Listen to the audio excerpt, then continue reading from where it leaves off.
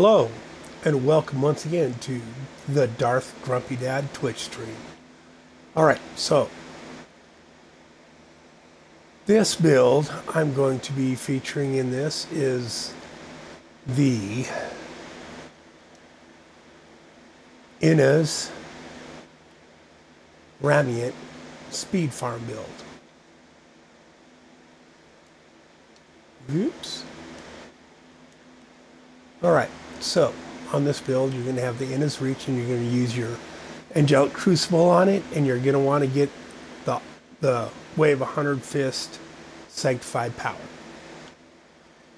You're going to want to equip the Fists of Thunder gloves. You're going to want to equip the Mantle of Upside Down Sinners, both from the Raiment's build. You're going to want your Inna's Vast Expanse. You're going to want the Sky Mask the Mask of Searing Sky from the Raiment build. oh, I have not rolled crit on that. Traveler's Pledge, Compass Rose again. You're going to want the Bindings of the Lesser Gods. You're going to want crit hit chance on it and 20% cold skill damage. Your other ring, you're going to want Convention of Elements. Now, since this is a farming build, I've got the Boon of the Hoarder in. The gem in the necklace is the Bane of the Trapped. And your other gem you're going to need is Enforcer. Increase the damage of your pets at rank 81 to almost 40%, and your pets take 90% less damage. And you're going to want the Inna's sandals, you're going to want the Inna's pants, and the Inna's belt. That'll give you the six piece on your Inna's set. Two piece, increase the passive effect of your Mystic ally and the base passive effects of your mantra by 100%. Four piece bonus, gain the best effect of all the mantras all the time. You gain 5% damage reduction for each Mystic ally you have out. Your Mystic allies no longer take damage six piece bonus. Gain the passive abil abilities of all five of your rune mystic allies all the time at all times. So if you want, you could just not pick a specific rune on your mystic allies and it would just rotate through all the different allies. But for this build, you're going to want to choose the water allies. Okay. Attacking enemies creates your chosen mystic ally that lasts 15 seconds, up to 10 Mystic Allies. The damage of your Mystic Allies is increased 900%. That used to be like 5,000, and they nerfed it. They nerfed it way back to 900%. But this is still a very, very doable T16 farming build. It's, it's very good for that still, right? 900% for each of your Mystic Allies you have out. So it's 900 times 10, so it's 9,000% damage altogether. Um, your skills. On A, you're going to want Blinding Flash, Self-Reflection. Right, so you can blind guys, and that works with your Relentless Assault passive, 20% more damage, to blind, frozen, or stunned. Right? Right trigger, you're going to want Wave the Hundred Fist, Assimilation. I mean, you could do Wind Force Flurry, which uh, Every third hit generates a wave of wind that deals 500% weapon damage as cold to enemies directly ahead of you because this is a cold damage build. Um, I, I'm so I, will try that. I usually use the the assimilate. You know that turns your damage into cold. I usually use assimilate. Every third hit increases your damage by five percent for five seconds, and you can get that stacked up there pretty good. But I don't think it's gonna matter with the way the hundred fist sanctified power. So we'll we'll try this once. Right? And then on your X button, you want Epiphany Desert Shroud because you're going to be holding A and X down all the time. Y is your Cyclone Strike, Implosion. Increase the distance enemies will be pull, pulled towards you to 34 yards. Right? Pull up to 16 enemies within 24 hours yards toward you, followed by a furious blast of energy that deals 261% weapon damage as holy. B button again, dashing strike, and I usually use Quicksilver, so I get three of those. Um, I think blinding speed is what they suggest you use on this. Right, gave 40% increased chance to dodge for 4 seconds. Dashing strike damage turns into cold, since the build is around cold. If you're trying to push, that's probably what you're going to want. But I like blinding speed, so I can get three of those if I need them. And your RB is going to be your Mystic Allies, Water Allies. Um, passives, Guardian's Path, while dual wielding. Oh, uh, so this, you're not going to get the dodge chance, but because you're using a single weapon while using a two-handed weapon, all spirit generation is increased by 15%. So you're just getting more more spirit out of the build. Um, Beacon of Ytar, reduce all cooldowns by 20%. Again, determination, each enemy within 12 yards increases your damage by 4% up to 20%. And I think if you wanted, you could probably use momentum, right? And get that 20% all the time, which is probably a better idea. So we'll change it to that. Right? Relentless Assault, the 20% damage for Blind and Frozen. In the cube for this build, you want Messerschmidt's Reaver. Reduce the re remaining cooldown of one of your skills by one second when you slay an enemy. That's going to give you way more uptime on your Mystic Ally and your Epiphany.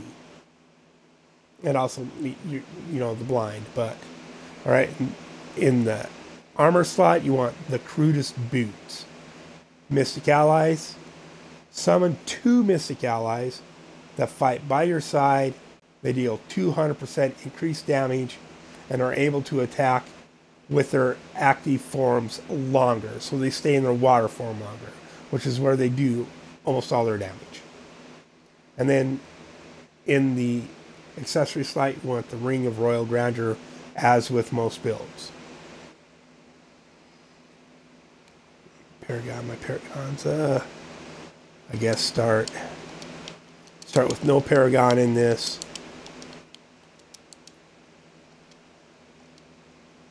All right, now the way this build works is you're going to go into the rift. First thing you're going to do is start punching. As soon as you hit a few guys, your Mystic Ally is going to multiply. You're going to get a whole bunch of them out there. And then as soon as you get a whole bunch of them out there, you're going to hit your RB. And then just hold it down so, so it procs again. As soon as the cooldown is done, it fires again. And, and hopefully you can keep them in Water Ally form. Right? And then while you're doing that, you're going to hold down A, so the blinding flash fires every time it comes around, and X, so you can keep your epiphany up, so you can dash to the next guy while you're punching. Now let's let that these cooldowns come back around. Now, if you want to try and push with this build, you can. All you'd have to do is uh, take out the Boon of the Hoarder and put a Bane of the Stricken in.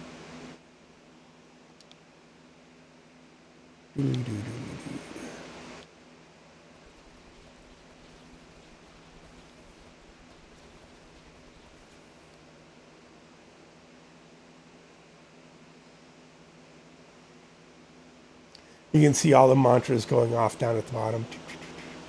You come convention of elements changing, going around standing still, I'm getting all that extra defense, or, or I mean attack.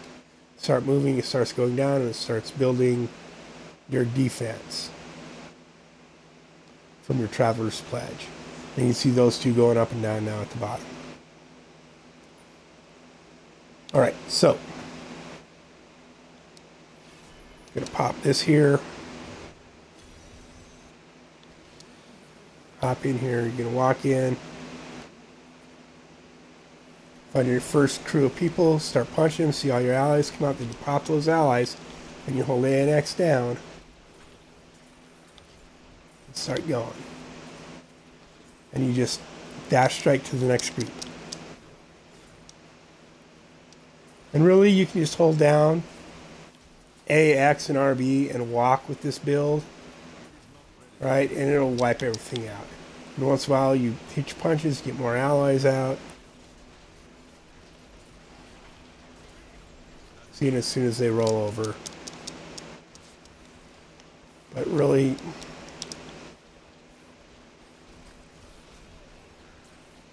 you hold all four of those buttons down at a time,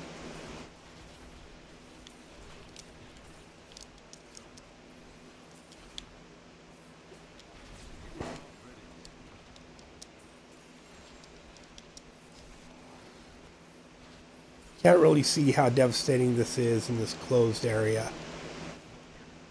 And then I'm just rocking my thumb over to hit dashing strike to keep moving. Oh, oh.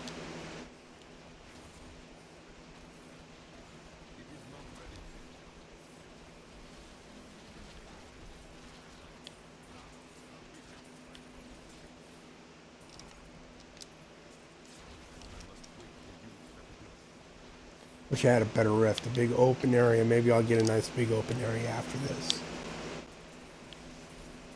See, every time your Mystic Allies pop, they give you a boost of spirit also. So, I keep forgetting to hit my Cyclone Strike too whenever I get into a crowd I can't kill. Hit that Cyclone Strike. Your guys do a bunch more damage.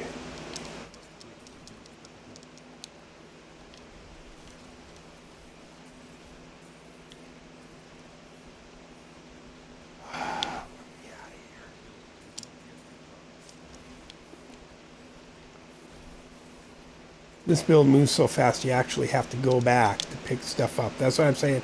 It's like for, for doing speed bounties, right? Or on one of these where you're in a larger area.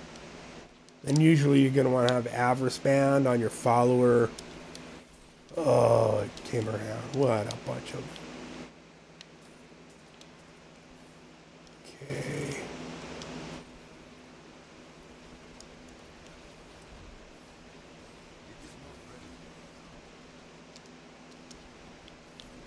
Another crappy area for this build.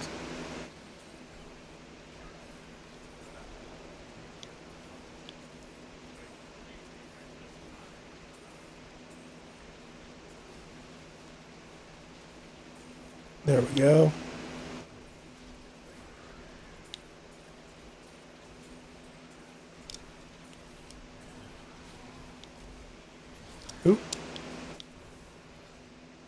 Ground effects got me.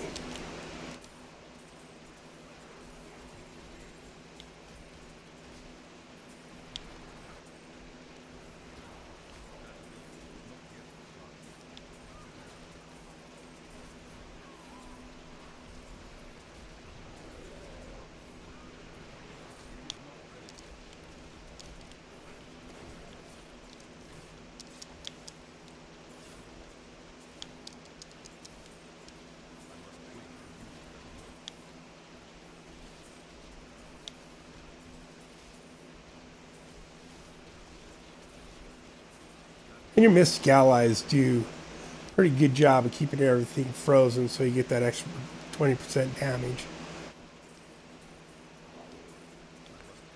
So if you wanted, you could probably...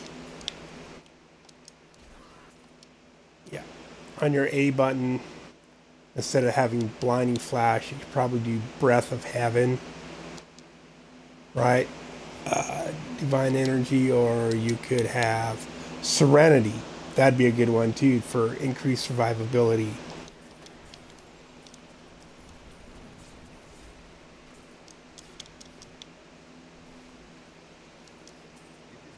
I'm just kind of used to always having blinding flash on a monk build, right?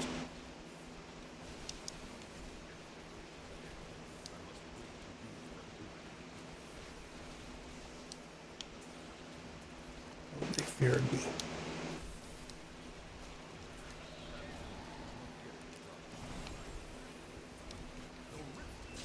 How dare you freeze me?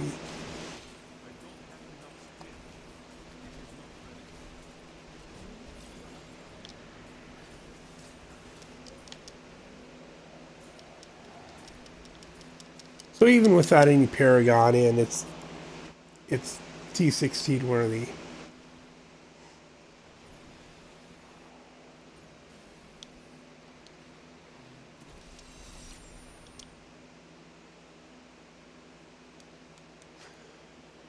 Okay, let's put the Paragon in now.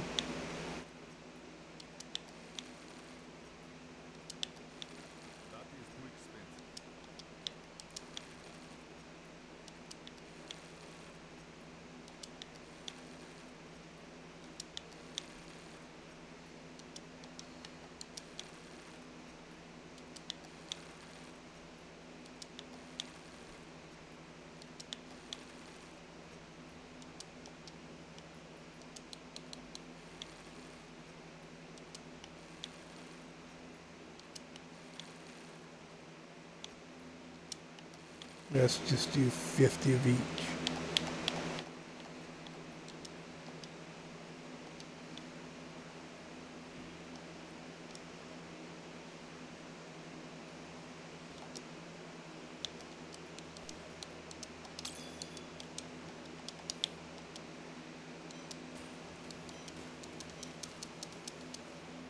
So you need that for the Wave of Light LOD build. I already got a couple of those. Earlier, I had several uh, Rabid Strikes drop. And I salvaged them all. And I need one to put the Wave of Light build together.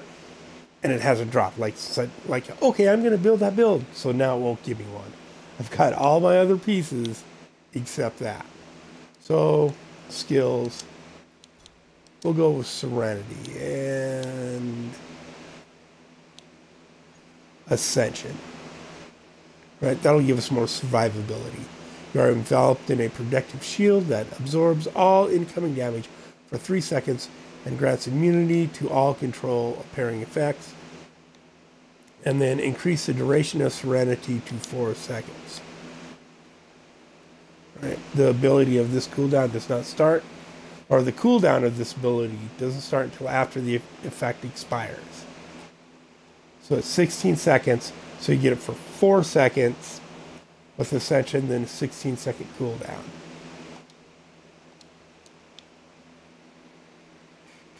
And ringing the Obsidian Zodiac wouldn't really help you on this because the only really real spender, it, it doesn't count your Mystic allies as a spender, would be your Cyclone Strike, right?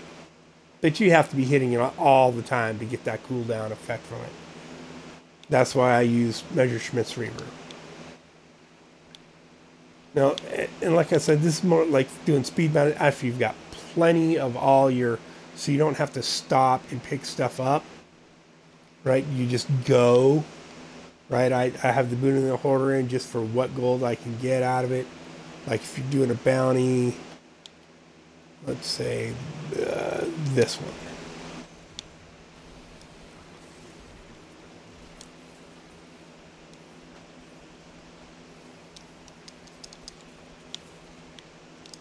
Oops. I do want them gems though. I'm gonna head out across this bridge.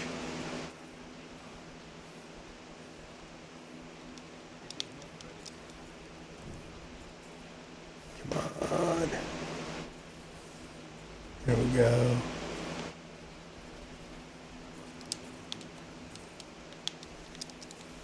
See that as soon as you hit that cyclone strike too.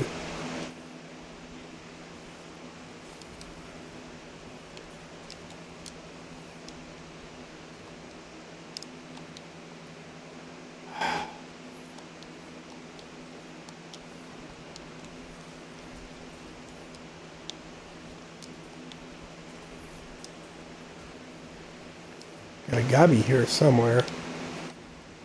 Oh, there he is if I can point towards him. There we go. Blood Shard Goblin.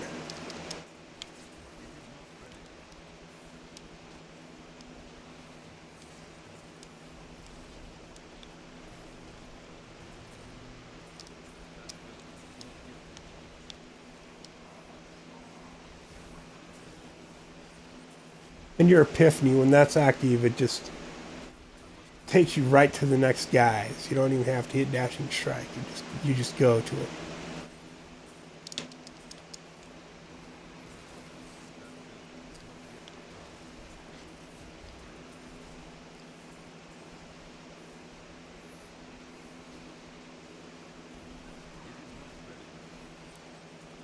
Oh, I already found the guy. Ooh, ooh, goblin.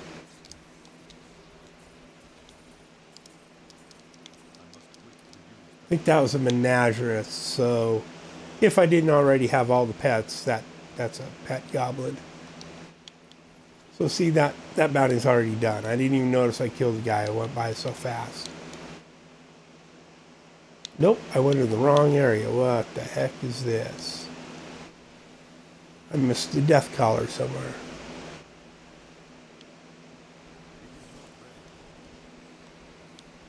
Where is this fool?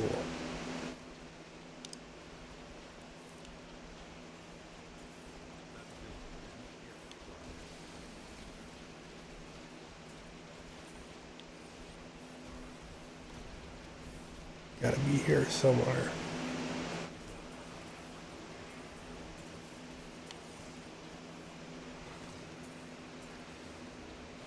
For some reason, he is not showing up on the map.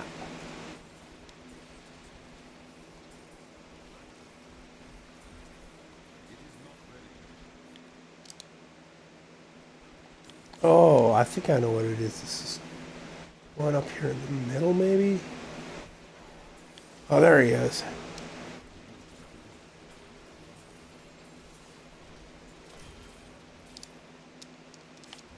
Yeah. So it's pretty, it's pretty devastating build for doing T16.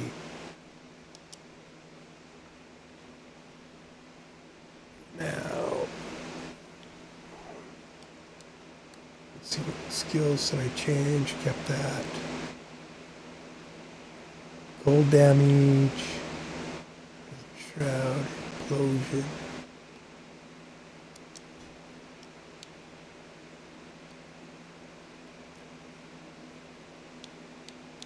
Yeah, I guess I'm spoiled on Quicksilver. All right, so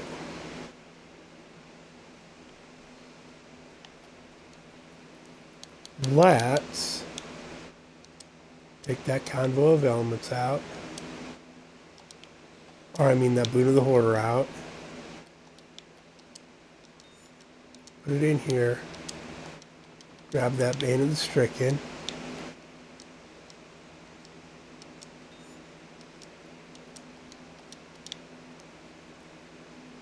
And we'll pop a GR with this just to yeah, I'll keep I'll keep the Paragon where it's at.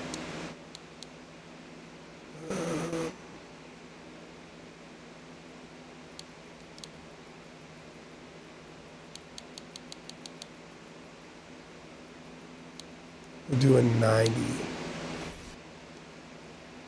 See how, how he does in here.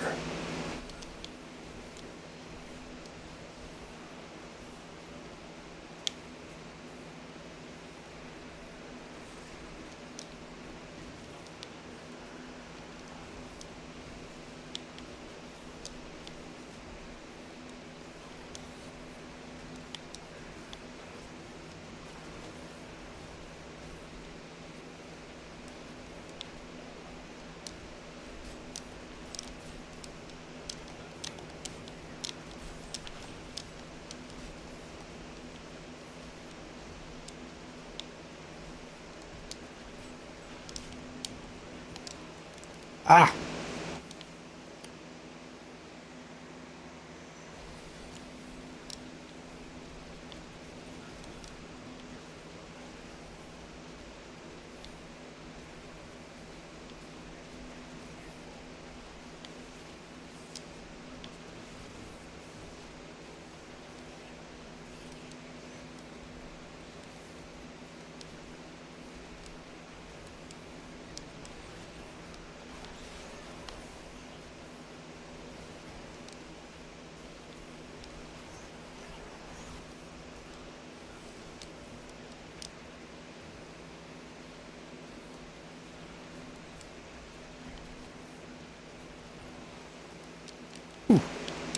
Ground effects took me out.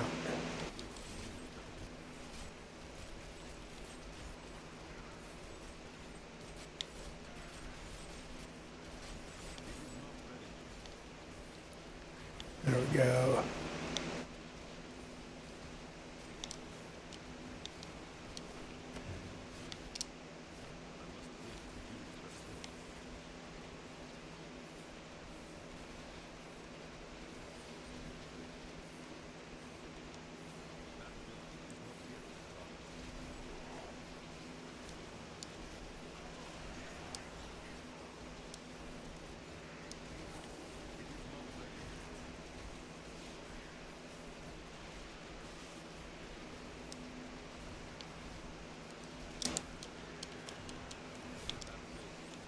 On that.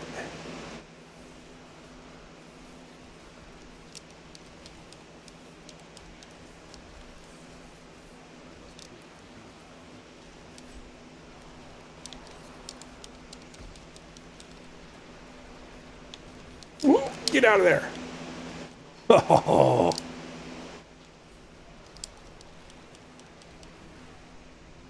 Oh. Try to teleport out, but it wouldn't let me.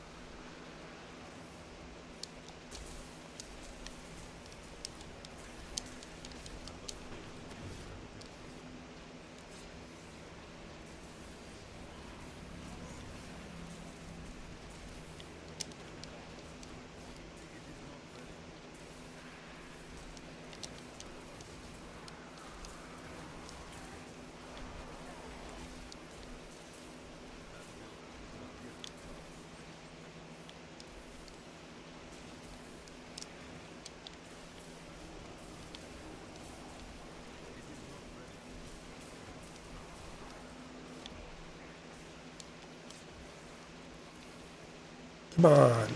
Strike.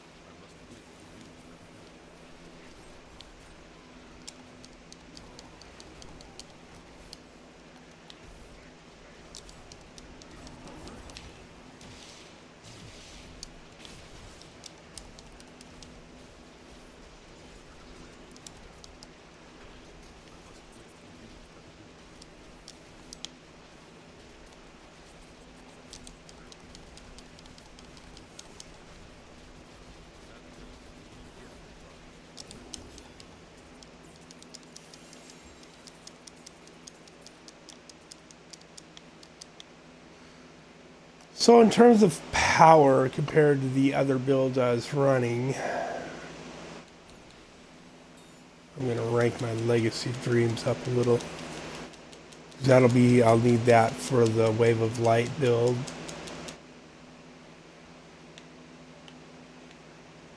It's more powerful than the POJ, it's more powerful than the Inna's it's a little bit clunkier because you, you know you, you have to get off some of your buttons to hit the right? When it starts teleporting around all on its own it's hard to tell where you're going or who you're punching but it's a pretty devastating build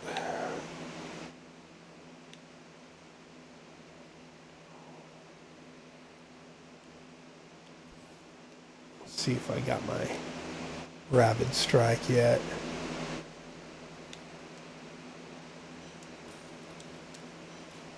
No, no, no, no, no, no. There's the spirit cards I couldn't get forever earlier. And it doesn't have, I don't think it has as good a crit as the pair I have.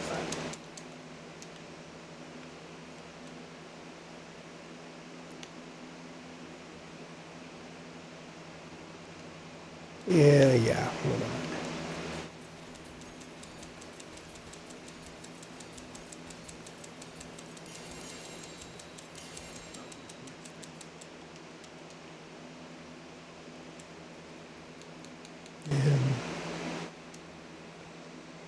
I can upgrade a couple.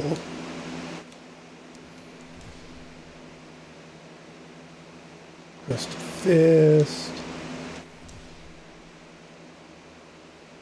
There's my Rabid Strike I've been looking for. Yes. So I guess uh, I'll be putting together the, uh, you know, that there. Ooh, that's a nice one, Kim Lao. I'll be putting together the LOD Wave of Light build. and probably doing another one of these shortly. But that is the Inna Raiment Speed Farm build. It's three pieces of the Raiment, five pieces of Innas, sanctified uh, Inna's Reach, so it takes up both weapon slots. Fist of Thunder, my crappy primal Mantle of Upside Down Sinner, Inna's Vest of Expanse, Mask of Searing Sky, Traveler's Pledge, Bindings of the Lesser Gods, Compass Rose, Convention of Elements, Inna's Sandals, Inna's Temperance, and in its flavor or favor, Messerschmidt's Reaver, Crudest Boots, Ring of Royal Grandeur, Serenity, Way of the Hundred Fists, Wind Force Flurry. I mean, you could do assimilation and and build up damage for the punches on that also, I guess. Uh, Epiphany Desert Shroud, Cyclone Strike Implosion, Dashing Strike Quicksilver, and Mystic Ally Water Ally. Passives Momentum, Relentless Assault, Beacon of Ytar, and Guardian's Path. I hope you found this informative. If you have, please follow me here at Twitch and then jump on over to YouTube and subscribe to my channel, also called Darth Grumpy Dad, on YouTube. Uh, ring the bell, get some notifications so you know when I post a new video. All subscriptions, all shares, all likes are very much appreciated, even though I'm really just kind of doing this to help people learn. Uh, the more likes and shares I get, the more people can learn from this. And as you can tell, this is obviously an Xbox tutorials and I don't see I see a lot of guys doing the ones for computers on PC, the PC builds, but not a lot of the uh, the console builds. So, all right, hope you enjoyed that. Have a good evening.